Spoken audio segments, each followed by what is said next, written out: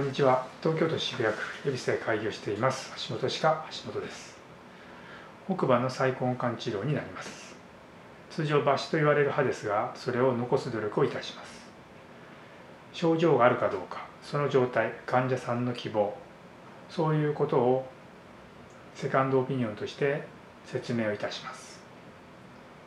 そして治療を希望されれば治療も行います。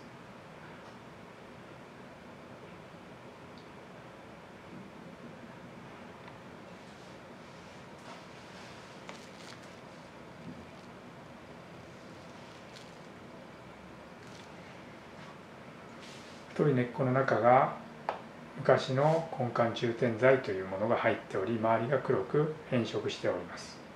これを全て取ってしまえば当然抜歯になってしまいます。先の方を拡大し細かい器具で除去していきます。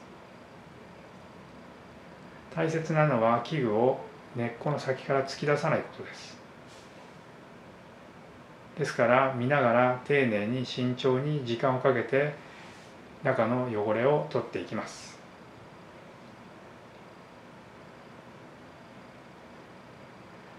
歯を抜かないという考えのもとに治療を行えば当然顕微鏡は必要ですし時間をかけるということは当然だということがわかると思います。